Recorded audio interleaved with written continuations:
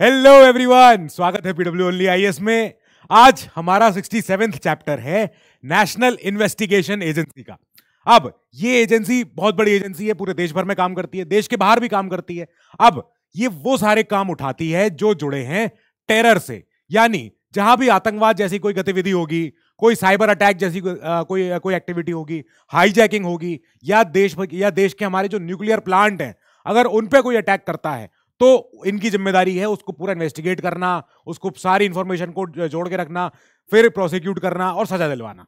अब ये एजेंसी बहुत फेडरल एजेंसी है, देश की सबसे ये खूब सेंट्रल एजेंसी है होम मिनिस्ट्री के अंडर आती है। अब हमारा क्वेश्चन ये होना चाहिए कि सर जब हम एनआईए भी पढ़ रहे हैं तो आपको याद होगा कि पिछले से पिछले साल भी एक संस्था बहुत ज़्यादा न्यूज़ में थी। याद आ गई? एनसीबी तो एनसीबी क्यों नहीं है इस बुक में? अब एनसीबी नहीं है एनसीआर भी नहीं है एनसीआर भी के तो हर साल डेटा हमको पढ़ना ही होता है तो ऐसी कुछ एजेंसी है जो इस बुक में नहीं है। वो हम बाद में देख लेंगे एक, एक साथ ही। पर अभी चलते हैं अपना इस पे। क्या हुआ कि इंडिया शुरू से ही मतलब आज़ाद तो हुए 47 हम हुए थे आज़ाद तभी से हमने देखा है कि हम भुगत रहे हैं एक दंश जो है टेररिज्म का। सबसे बड़ा हमने टेरर अटैक देखा था लेटेस्ट जब 2008 में हमारे मुंबई में अटैक हुआ था। कई सारे आतंकवादी आए थे पानी के रास्ते से। फिर उसके बाद याद कीजिए कि हम जब शुरू से कहते रहे कि नहीं नहीं हाफिज सईद जैसे लोग प्रॉब्लम है, ये सब लोग परेशान कर रहे हैं, हम हम ये हम त्रस्त हैं इस एक्टिविटी से। फिर इसके बाद हमें रियलाइज़ हुआ कि हमें एक सेपरेट ऐसी, क्योंकि पुलिस, सारे स्टेट्स की पुलिस अपने अपने स्टेट में काम कर रही है। कभी कभी बाहर जाना पड़ता है जब कोई इंटरलिंकिंग होती है। तो ऐसे में हमें चाहिए एक नेशनल लेवल पे फेडरल एजेंसी चाहिए जो डील करे टेरर रिलेटेड क्राइम से सारे। एक बार में जितने सारे अपराध होते हैं ये सारे टेररिज्म को एक अंडर एक एक अम्ब्रेला में लेके आया जाए और एक एजेंसी उस पर ये ये करे पूछताछ। फिर हम लेके आए NIA act national investigation agency NIA act 2008 में ही। जब अटैक हुआ तभी हमने कई सारे शहीदों की कुर्बानी देखी इसमें। हमने कहा, ये और बर्दाश्त नहीं होगा, अब इस पे आगे काम करना पड़ेगा। फिर इसी की वजह से एनआईए का गठन होता है, इसी एक्ट की वजह से 2009 में। अब एनआईए हमारी एक सेंट्रल काउंटर टेररिज्म एजेंसी बन जाती है, जो लॉ एनफोर्समेंट एजेंसी का काम करती है। इसने काम करना अपना शुरू किया। अब आप पूछो कि, सर, इसमें कौन लोग होते हैं? कितने चेयरपर्सन, कितने मेंबर्स, कितने ये सब? नहीं बताएँगे। सॉरी, ये ये सीक्रेट है टॉप सीक्रेट है भाई ऑफिशियल सीक्रेट है क्यों बताएँगे? इसकी वर्किंग कैसी है? इसमें कितने के ये, ये क्या ये क्या इनका स्ट्रक्चर है? नहीं बता सकते यार सॉरी क्योंकि ये बहुत ही ज़्यादा जैसे कहते हैं गोपनीय बात रखनी पड़ती है। अब क्या करें? ठीक है। हम इसमें पढ़ेंगे इसका मिशन इसका विजन इसका फ़ंक्शन वो सब देख लेंगे। पर हम ज़्यादा इसमें कॉम्पोजिशन की बात नहीं कर पाएँगे क्योंकि नहीं है करने के लिए। अब नई दिल्ली में इनका हेडक्वार्टर है ठीक है। और इनके अलग अलग स्टेट्स में इनके अपने ब्रांच ऑफ़िस भी होते हैं ठीक है। हर स्टेट में कहीं ना कहीं अपने जहाँ जहाँ पे इनको लगता है कि पोटेंशियल ये जगह है, जहाँ पे टेररिस्ट एक्टिविटी या या जो भी गतिविधि जो भी हो रही है, यहाँ तो वहाँ पे अपना एक फ़ील्ड ऑफ़िस ब्रांच ऑफ़िस बना लिया। अब इनका अलग से एक और सेल होता है सेल माने एक और विभाग, एक और डिपार्टमेंट जिसको हम बोलते हैं टीएफएफसी सेल टीएफएफसी सेल ये डील करता है, जो टेरर फंडिंग करते हैं उन लोगों के खिलाफ और जो फेक करेंसी चलवाते हैं मार्केट में उनके खिलाफ। तो टीएफएफसी सेल एक बहुत इंपॉर्टेंट सेल बन गया है। टीएफएफसी पता है आपको आ, मैं बताऊँ क्यों? क्योंकि पैसा क्यों इतना हम इसको अहमियत दे रहे हैं इस चीज़ में? कि भाई आतंकवाद के बीच में फेक करेंसी का क्या मतलब है? फेक करेंसी अलग चीज़ है और ये अलग चीज़ है। नहीं ये सब इंटरलिंकिंग है। आपको अगर मैं एक बहुत छोटे एग्ज़ाम्पल से बताऊँ कि पता है फेक करेंसी इतनी इंपॉर्टेंट क्यों बन जाती है? मान के चलो एक एक इकोनॉमी है ठीक है ये इकोनॉमी बन गई हमारी। इसमें हमारे देश में सारी इकोनॉमी इसके अंदर घूम रही है। तो हमारा इसमें अंदर इसमें हमारा पैसा चल रहा है। मान लो इस पूरे पैसे की टोटल वैल्यू है सौ रुपए, ठीक है। अब सौ रुपए इस इकोनॉमी में घूम रहे हैं। सौ रुपए की वर्थ के इसमें प्रोडक्ट अंदर खरीदे जाते हैं, बेचे जाते हैं, जो भी है। ये एक रफ, बहुत ही स्केची इकोनॉमी बनाई है मैंने, सौ रुपए की इकोनॉमी, ठीक है। अब, या, अब इमेजिन करो, इसमें कोई एक शख्स ऐसा आए जो बोले कि मेरे पास कुछ नकली नोट है। अब, वो क्या करेगा, इस सौ रुपए में अपने बीस रुपए ऐड कर देगा, जो नकली हैं। बस, ये याद करो आप कि हाँ ये जो बीस रुपए हैं, ये नकली हैं। यानी कि अब टोटल इस इकोनॉमी में जो पैसे घूम रहे हैं, सब मिला के किसी एक अनजान व्यक्ति के लिए वो कितने हैं? एक सौ बीस रुपए। अब क्या एक सौ बीस रुपए के वर्थ का अंदर सामान बन रहा है? अगर फेक करेंसी अगर ये ये अगर मैंने यूज़ करी कुछ सामान खरीदने में तो एक्चुअली में तो उसका लॉस हुआ जिसने सामान बेचा। और मैंने वो सामान एक्चुअली में चोरी किया है। तो हर चीज़ लिंक हो रही है। अब उस सामान को मैं किसी और को सप्लाई कर सकता हूँ प्रॉफिट के लिए, या किसी और कोई आतंकवादी संगठन को दे सकता हूँ मैं प्रॉफिट के लिए। तो ये सारा लिंकेज होता है। ये सारे क्राइम्स लिंक होते एक दूसरे से। इसीलिए हम कहते हैं कि भैया फेक करेंसी अगर हम रोक लें, कई सारी तो हमारा ब्लैक मनी रुक जाएगा, हमारा टेरर फंडिंग रुक जाएगी, क्योंकि टेरर फंडिंग कैसे हो रही है? टेरर फंडिंग ऐसे हो रही है। पहले नकली जो ये ये जो नोट्स होते हैं, पहले उनको इकोनॉमी में घुसाओ उन नकली नोटों से कुछ सौदा खरीदो, सामान खरीदो और सामान को ले जाके उन ये उन आतंकवादी संगठन को दे दो। वो संगठन उस पैसे उस उस चीज़ को यूटिलाइज करेंगे कोई अपनी एक्टिविटी करने में।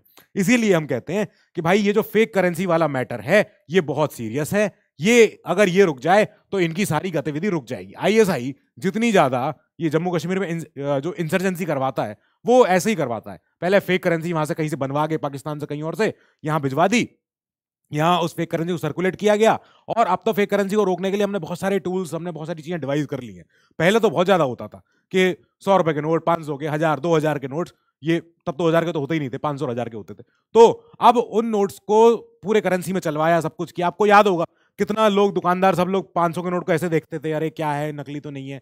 क्योंकि बहुत ज़्यादा फेक करेंसी पकड़ी जाती थी सर्कुलेशन में थी। आरबीआई के रूल्स चलते थे कि भैया, पहले उस सिल्वर पट्टी को देख लिया करो और छू के देख लिया करो। नोट की खनक देख लिया करो, ऐसे कर, करके कि नोट में खनक होनी चाहिए। तो वो सब ये तरीके होते थे।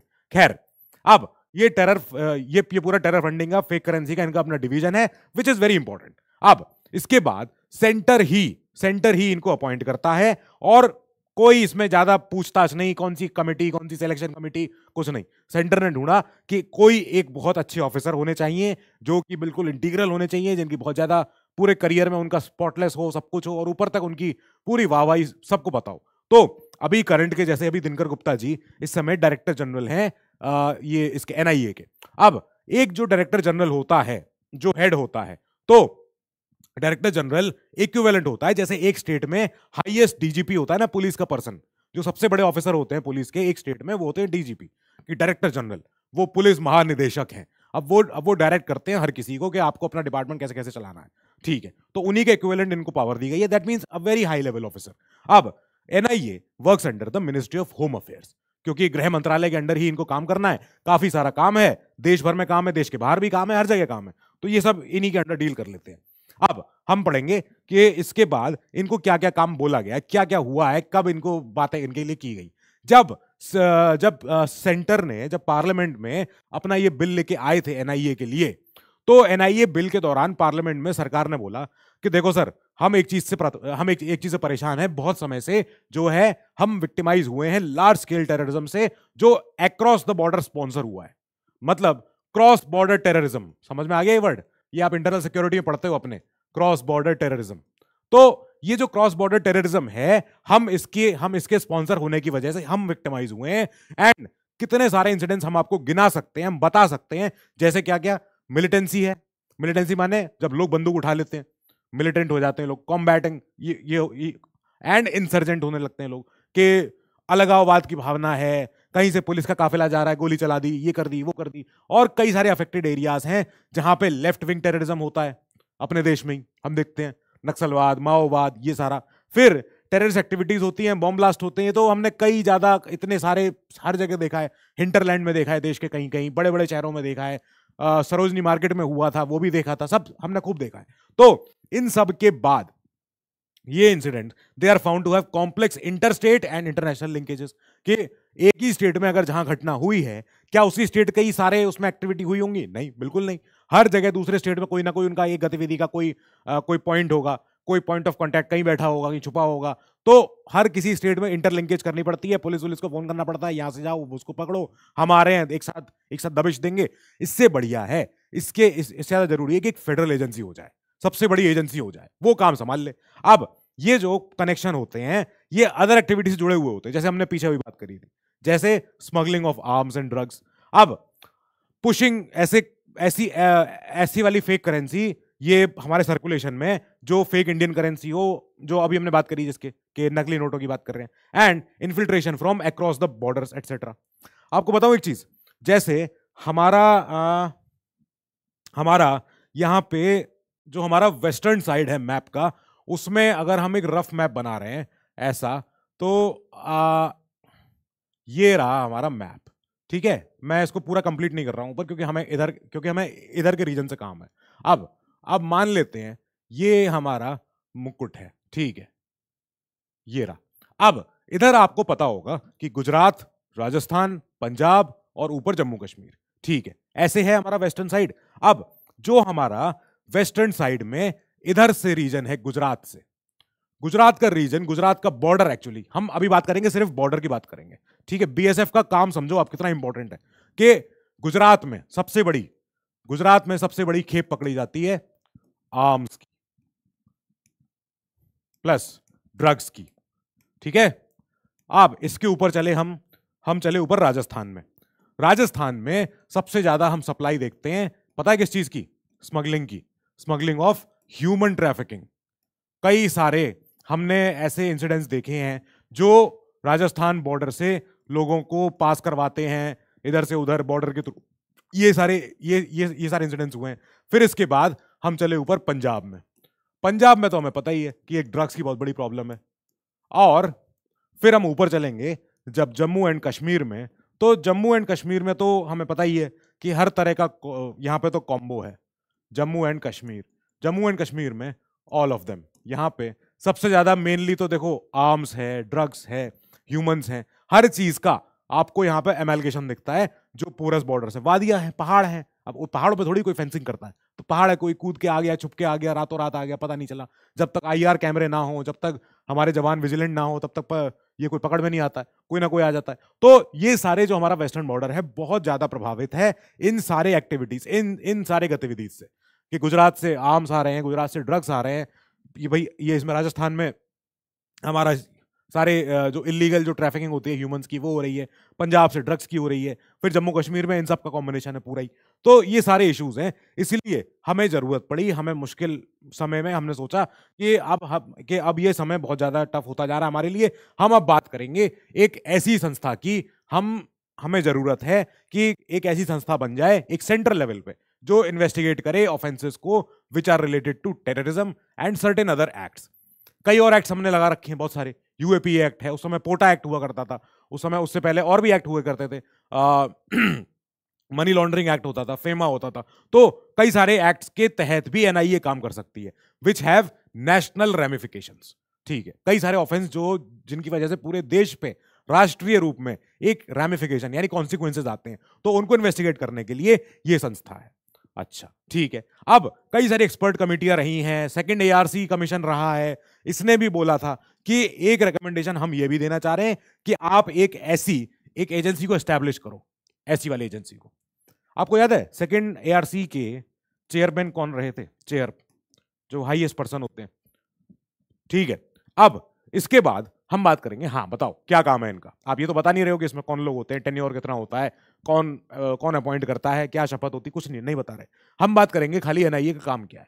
अब एनआईए को मैंडेट मिली है एनआईए इज़ मैंडेटेड कि आपको ये ये सब करना है। क्या क्या इन्वेस्टिगेट एंड प्रोसिक्यूट ऑफेंसेस जो कई सारे एक्ट्स के तहत या जो एनआईए एक्ट में एक जो लास्ट में शेड्यूल बना हुआ है जैसे हमारे संविधान में होता है तो एनआईए एक्ट है प्रॉपर एनआईए एक्ट में क्या होता है? एक्ट में पहले डेफिनेशन होगी फिर ये कॉम्पोजिशन होगी फिर आ, ये होगा कि इनका मैंडेट कहाँ कहाँ है इनके विजन क्या है इनका मिशन क्या है सारी चीज़ें होंगी।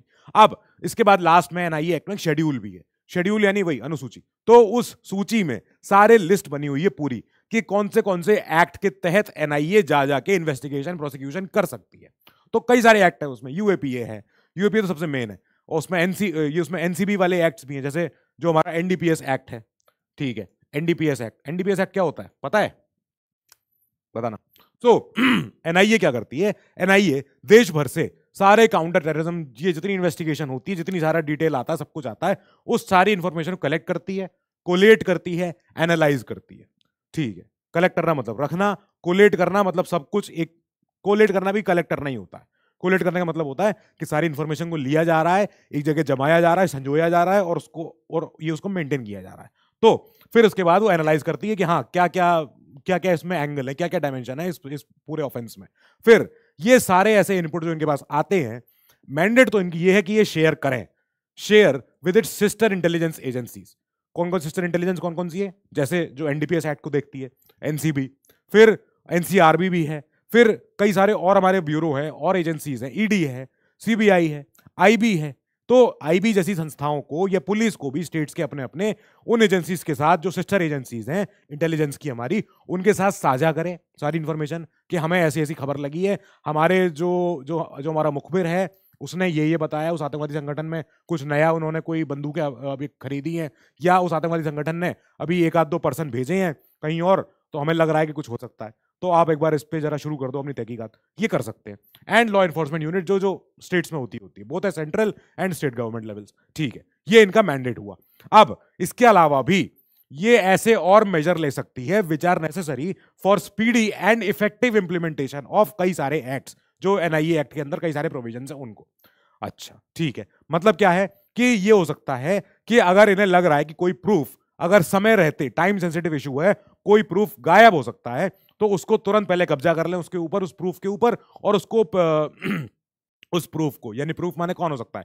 कोई विटनेस हो सकता है कोई एविडेंस हो सकता है कोई कोई दस्तावेज़ हो सकता है कि उन्हें लग रहा है कि ये खतरे में है या ये दस्तावेज़ जो है कहीं अगर जल सकता है या खराब हो सकता है तो इसको ले जाके अपने सेफ्टी वॉल्ट में जाके रख लिया छुपा के रख लिया। प्रिवेंटिव कस्टडी ठीक है ओके वो करते ये कर, ये कर सकते हैं। अब एनआईए की विजन जब एनआईए बना तो एनआईए का जो दृष्टि है एनआईए का विजन है वो क्या है? कि NIA aims to be a thoroughly professional investigation agency ठीक है वेरी गुड ये होना ही चाहिए। जो सबसे ज़्यादा हाईएस्ट इंटरनेशनल स्टैंडर्ड जैसे और सारी एजेंसीज काम करती हैं, जैसे सीआईए है, जैसे एनएसए है तो ये सारी एजेंसीज के इक्वल ये लोग काम करें FSB है तो ये सारी एजेंसीज के इक्वल ये लोग काम करें ये इंटरनेशनल स्टैंडर्ड्स को फॉलो करें और एनआईए एम्स एनआईए का एम भी यही रहता है कि standards of excellence in counter terrorism and हमारे नेशनल जो सिक्योरिटी जितने हमारे मैटर हैं, इनमें ये नेशनल लेवल पे भी हो, चाहे स्टेट लेवल पे भी हो, ये बहुत ही मतलब जैसे कहते हैं उम्दा तरीके से हाईली ट्रेंड बिल्कुल सच्चे, बिल्कुल प्रोफेशनल लोग, ये सारे पार्टनरशिप ओरिएंटेड ऐसे वर्कफोर्स बनाए अपनी। ठीक है, बहुत अच्छी बात है। अब एनआईए का एक और एम है कि वो डेटरेंस क्रिएट करे ताकि ऐसे जो लोग हैं, जो गतिविधि ऐसी करते हैं, मुंबई हमले, सरोजनी, दिल्ली, हमारा बैंगलोर, चेन्नई, कोलकाता ऐसे वाले हमलों को और पोटेंशियल थ्रेट्स को ये बिल्कुल न्यूट्रलाइज कर सके डिटर कर रखे कि अगर आपने कुछ किया तो एनआईए है, आपको ढूंढ लेगी फॉरेंसिक्स के ज़रिए, सब तरीके सब चीज़ों के ज़रिए, दो महीने लगेंगे, आपकी खोज निकल आएगी। और आपको फिर उठा लिया जाएगा, सोच लेना। फिर इसके बाद एनआईए एम करती है कि हम एक स्टोर हाउस बनाए टेरर रिलेटेड इन्फॉर्मेशन का सब तरफ़। जो फ़िल्मों में देखते हैं ना हम, जैसे किसी हमले के बाद, एकदम बिल्कुल बहुत बड़ा यूएस में पेंटागन में कई सारे लोग बैठते हैं प्रेसिडेंट बैठते हैं और फिर एक फिर एक सिक्योरिटी ऑफिसर पूरा टीवी पे दिखाता है कि देखो, ये है एक्स वाई जेड पर्सन ये फलाना अभी यहाँ पर है, ये, इन सब चीज़ों में लिप्त पाया गया है, हम इसके ऊपर इतना इनाम रखे हुए हैं। सर, आप बस यस बोलो, इसको हम उठा लेंगे अभी। तो वो सारी जो इन्फॉर्मेशन होती है, वो इन्फॉर्मेशन एनआईए का एक मैंडेट है कि ये उनका विजन है कि उनको सारा स्टोर हाउस बना के रखना है, हर तरीके के जो जितनी आतंकवादी होते हैं, गतिविधि होती है, उन सब के ऊपर। ठीक है। अभी जब पाकिस्तान ने यूएन में बोला था कि, अरे, जो हाफिज सईद तो जो है, अठहत्तर साल की सजा काट रहा है, वो तो अभी जेल में ही है। तो क्या पाकिस्तान के बोलने के बाद पता चला होगा क्या एनआईए को? नहीं। एनआईए को बहुत पहले पता होगा कि हाफिज सईद इनका जेल में है और कितने दिन जेल में रहता है, कितने दिन बाहर जाके रैलियाँ करता है। कई सारी चीज़ें होती हैं। अब इतना बड़ा जो वहाँ का वो, जो आतंकवादी है तो आतंकवादी तो वो है, उसके पीछे इतने सारे लोग हैं जो उसको सपोर्ट करते हैं। तो कई बार क्या होता है कि बहुत सारे हमने ऐसे लोगों को देखा है जो बाहर घूम रहे होते हैं जेल में रहने के बाद भी। वो ऐसे भी लोग होते हैं एनआईए को सब पता होता है एनआईए को आईबी को रॉ को, इनको सब आइडिया होता है। फिर अब एनआईए के मिशन देखो आप, कि मिशन कुल मिला के सीधी सच्ची भाषा में यही है कि टेररिस्ट एक्टिविटी नहीं होने देनी है, बस, ठीक है। पर इसके लिए क्या क्या ज़रूरी है? मिशन में बहुत सारे, बस खाली इतने एक लाइन से काम नहीं होता। फिर क्या है कि इन डेप्थ प्रोफेशनल इन्वेस्टिगेशन होना चाहिए ऑफ़ शेड्यूल्ड ऑफेंसेस हर चीज़ हर चीज़ का रिकॉर्ड होना, हर चीज़ का एक बिल्कुल तरीका होता है। तो जो शेड्यूल्ड ऑफेंस होते हैं, जैसे आईपीसी में लिखे हुए हैं, जैसे और सारे एक्ट्स में जो शेड्यूल्ड ऑफेंस लिखे हुए हैं तो इन सारे ऑफेंस को हमने शेड्यूल्ड ऑफेंस बोला हुआ है। इन सारे ऑफेंसेस को को ये इन्वेस्टिगेट कर सकते हैं इन डेप्थ इन्वेस्टिगेशन कर सकते हैं और लेटेस्ट साइंटिफिक मेथड्स के द्वारा, यानी कि कोई पुराने टेक्निक से नहीं। आज जो टेक्निक चल रही है फॉरेंसिक्स की इन्वेस्टिगेशन की साइंटिफिक टेम्परामेंट के साथ, हम वैसे इन्वेस्टिगेट करेंगे and setting up such standards as to ensure that all cases entrusted to it are thoroughly detected कि जो जो एनआईए को केस मिले, वो एंश्योर कर दे कि देखो हमसे बेहतर तहकीकात कोई नहीं कर सकता है। जहाँ भी कहीं बॉम्बिंग होती है, उसके बाद आप देखो उस पूरे जोन को कॉर्डन ऑफ़ कर देते हैं। कॉर्डन ऑफ़ समझते हो क्या होता है? कॉर्डन ऑफ़ करना होता है कि एक एरिया को सील कर देना कि अब जैसे जैसे कॉर्डन ऑफ़ एक्चुअली तो देखो यूज़ किया जाता है कोई बुरे हादसे के बाद उस एरिया को। पर अब जैसे प्राइम मिनिस्टर का निवास है, आवास है तो प्राइम मिनिस्टर का आवास भी एक्चुअली कॉर्डन ऑफ़ है। आप वहाँ नॉर्मली नहीं जा सकते हो। जो पहले जिस रोड को हम कहते थे रे, रेस कोर्स रोड तो अब उसका नाम चेंज हो गया है। अब उसका अब उसका नया नाम कुछ और है दिल्ली में जो रोड है जहाँ पे पीएम का निवास है सेवन आर सी आर तो अब क्या हुआ है कि जो पीएम का निवास है वो एक्चुअली में वो जो रोड है वो कॉर्डन ऑफ़ है। आम जनता वहाँ नहीं जा सकती। क्यों जा सकती है भाई? प्राइम मिनिस्टर वहाँ रहते हैं। तो वो पूरे तो वो पूरे गली तो वो पूरे बिल्कुल रोड के मुहाने पे ही बैरिकेडिंग कर दी जाती है, वो पूरा एरिया सील्ड ऑफ़ होता है। अगर कोई गाड़ी वहाँ आती है, पहले वहाँ पे पुलिस पूछती है भाई, यहाँ क्यों आए हो आप लोग? कहते भाई, हम यहीं रहते हैं। अच्छा अच्छा फिर आप जाओ। ठीक है। तो ये हो सकता है। अब, कॉर्डन ऑफ़ करने के बाद एनआईए क्या करती है? वहाँ पे पहले पहुँचती है। कोई भी पुलिस किसी को बोल देती, कोई सबूत छुएगा नहीं, कुछ हाथ मत लगाना किसी भी चीज़ को, हम पहले सारे ये सारे एविडेंस कलेक्ट कर लें। फिर एनआईए जाती है वहाँ पे वहाँ पे देखती है कि अच्छा क्या क्या फ्रैगमेंट्स मिल रहे हैं बॉम्ब के क्या क्या गोलियाँ कहीं चली हैं तो तो ये तो मिल रही है कि नहीं मिल रही है? किसी आतंकवादी का कोई अगर सैंपल मिल जाए तो डीएनए का, उसके हाथ का, पैर का, कोई सुसाइड बॉम्बर है, कुछ भी तो उसको उठा लिया। फिर हर चीज़ की तहकीकात डिटेल्ड तहकीकात। ये श्योर करना कि हम तक अगर केस आ रहा है सॉल्व होगा ही होगा, हम लटकाएँगे नहीं उसको। हम स्पीडी ट्रायल देते हैं। इफ़ेक्टिव एंड स्पीडी ट्रायल हम नहीं समय लगा रहे इतना। हमारे पास आंसर ये रहा। देखो ये रहा आंसर फिर developing into a thoroughly professional result oriented organisation जो अपहोल्ड करती है हमारे देश का संविधान हमारे देश के लॉ ऑफ़ द लैंड ठीक है? बिल्कुल सही। Giving prime importance to the protection of human rights and dignity of अपना इंडिविजुअल जैसा भी। ठीक है? फिर डेवलपिंग अप ये, अपना एक ऐसी प्रोफेशनल वर्कफोर्स हो जो बिल्कुल मतलब प्रोफेशनल जैसे कहते हैं ना बिल्कुल ईमानदारी से काम कर रही है, काम के लिए काम कर रही है, कोई और तरीके से काम नहीं कर रही है। Through regular training and exposure to the best practice जितनी देश भर, जितनी इंटरनेशनल में भी ये हमारे लेवल पे भी कैसे कैसे आजकल नई तरीके से इन्वेस्टिगेशन हो रहा है, जाके गए, सीख के आए। अगर कोई एजेंसी हमसे शेयर करना चाह रही है डिटेल्स तो और हम भी सिखाते हैं अपनी, क्योंकि हमारे अंदर, हमारे आरएनडी बहुत होती है इस चीज़ पे। भाई, आजकल जैसे जैसे क्राइम आजकल इवॉल्व हो रहा है वैसे वैसे हमारा काउंटर क्राइम वो भी इवॉल्व हो रहा है। अब displaying scientific temper and progressive spirit जब भी हम कोई ऐसे, ये कोई अपनी ड्यूटी ऐसे हम जब डिस्चार्ज करेंगे as an officer of NIA तब हमें जो ड्यूटी मिली होंगी, हम डिस्चार्ज करने के लिए नया साइंटिफिक टेम्पर ये नहीं पुराने तरीके से जा रहे हैं, पहले अपने गाड़ी में जा रहे हैं लंबी लंबी पहले चाय पियेंगे, तब बात करेंगे, कुछ नहीं, पहले काम करना, काम करो, सही तरीके से काम करो। फिर इसके बाद इंडक्टिंग मॉडर्न मेथड्स ऐसे वाले and latest technology in every sphere of activities of the agency पता है क्या? हम जो ट्रेडिशनल अभी अभी तक टेररिज्म देखते हैं, वो क्या देखते हैं हम?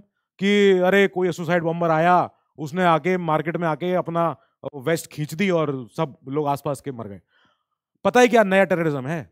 बायो टेररिज्म पता है नया टेररिज्म क्या है? साइबर टेररिज्म साइबर टेररिज्म को आप क्या समझ रहे हो? ये लगता है यार यहाँ वेबसाइट है कोई, ये दोबारा सर्वर रीइंस्टॉल करेंगे, सब आ जाएगा। पता है साइबर टेररिज्म कितना इंपॉर्टेंट है? कितना ज़्यादा इस समय, जिसे कहते हैं, एक देश के लिए बहुत बड़ा सिरदर्दी है वो। कि साइबर टेररिज्म ना होने पाए।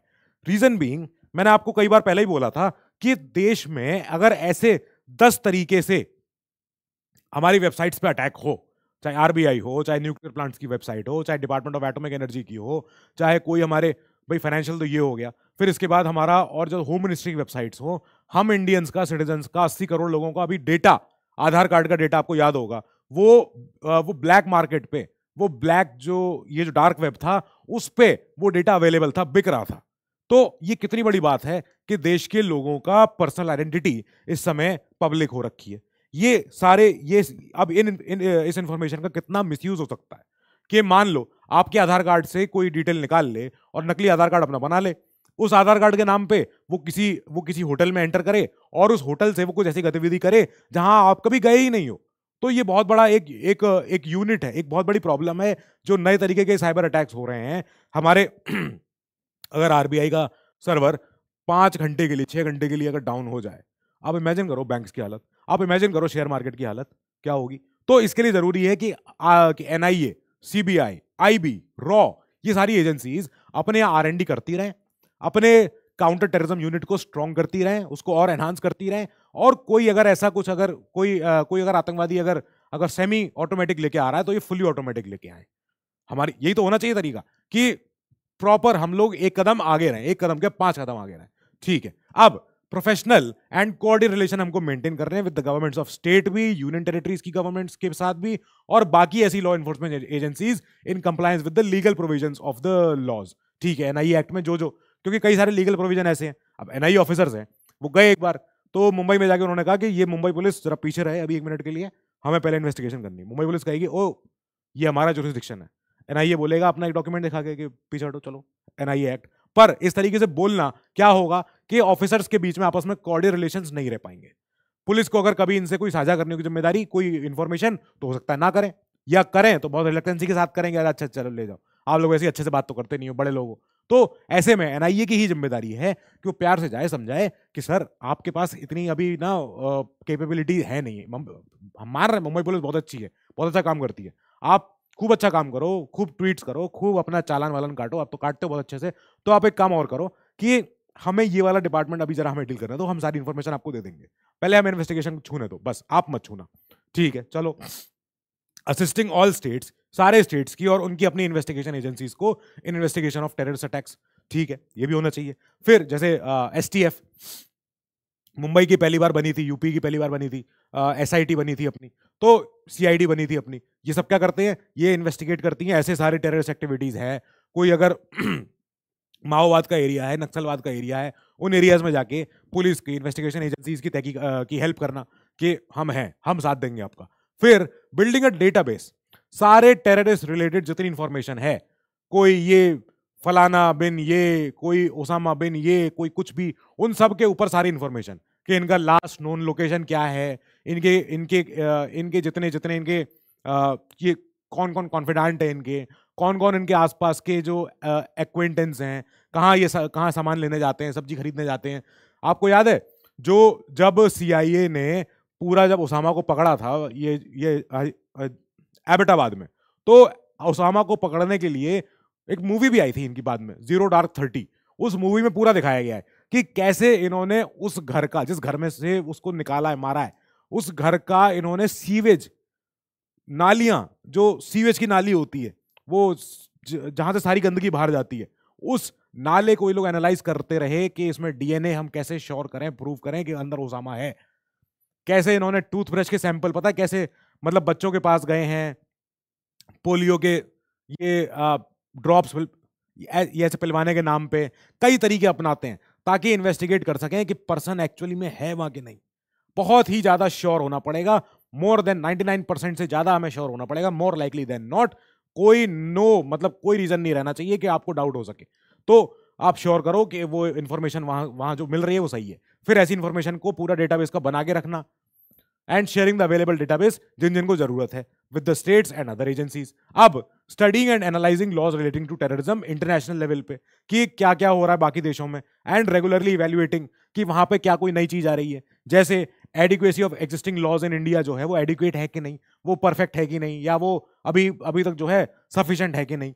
And proposing changes as as and when necessary ठीक है? जैसे, फ्रांस का भी आया था no money for terror money पैसा सॉल्व कर देगा। अगर आप पैसा काट दो तो फिर एजेंसीज ये जो टेररिस्ट एजेंसीज हैं, ये फिर कैसे सपोर्ट करेंगी अपने इनको, ये जो स्लीपर सेल्स को, या अपने जो भी कोई सुसाइड बॉम्बरों को, या को भी जो लोग जाते हैं। तो आप पैसा काट दो इनका, पैसे की जड़ काट दो इनकी, फिर आपका काम खत्म। ठीक है, इनका काम खत्म।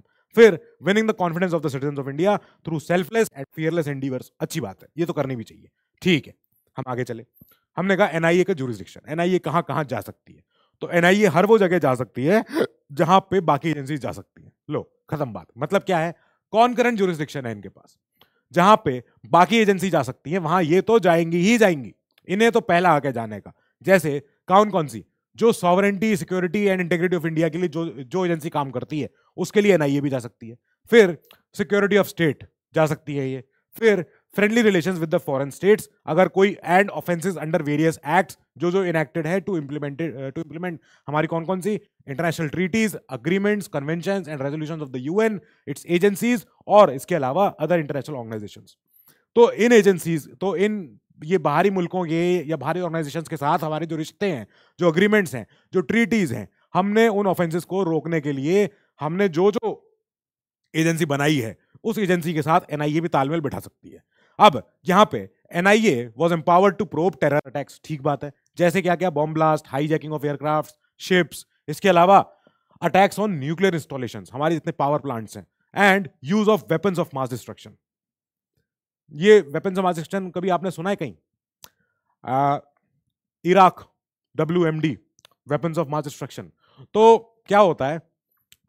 एक इजिप्शियन एक सऊदी का आदमी दो प्लेन लेके, तीन चार प्लेन लेके जब वर्ल्ड ट्रेड सेंटर पे जाके घुस जाते हैं तो यूएस एक जंग छेड़ता है, इराक से, अफगान से।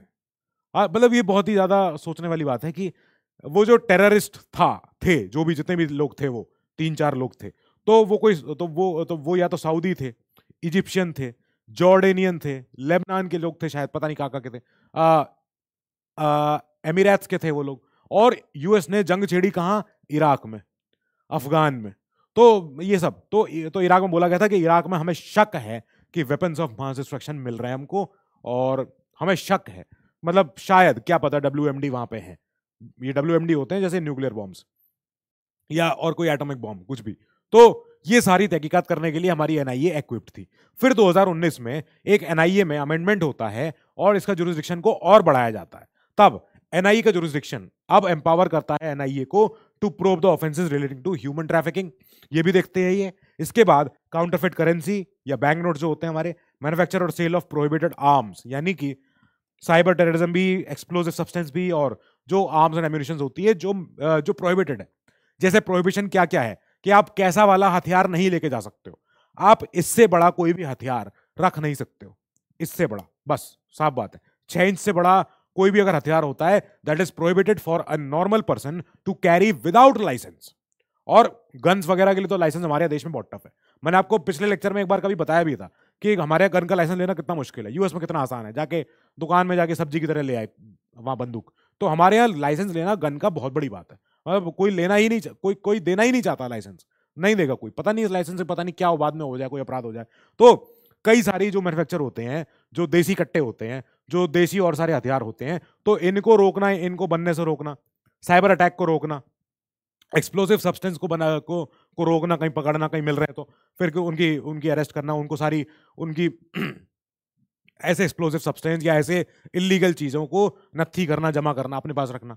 अब एनआईए का जो 2019 में 2019 में ये जो अमेंडमेंट हुआ है, इस अमेंडमेंट की वजह से ये बोला गया कि अब जो एनआईए एक्ट के जो प्रोविजंस हैं, ये सारे अप्लाई होंगे हर उस पर्सन पे जो कमिट करता है, एक शेड्यूल्ड ऑफेंस वो ऑफेंस जो बियॉन्ड इंडिया हुआ है, लेकिन इंडियन सिटीजन के अगेंस्ट के साथ हुआ है, या इंडियन इंटरेस्ट के अगेंस्ट हुआ है।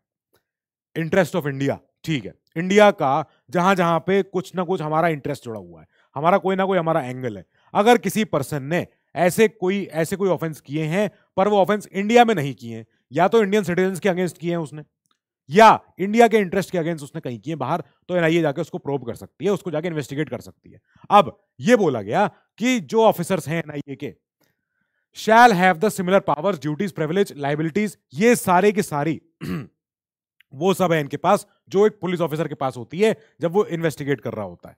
एक police officer in connection with investigation of offences जो एक पुलिस ऑफिसर के पास जितनी ज़्यादा ड्यूटीज़ लाइबिलिटीज प्रिविलेज जितनी पावर्स होती हैं, वो होंगी उनकी। Not only in India but also outside India आई बात समझ में?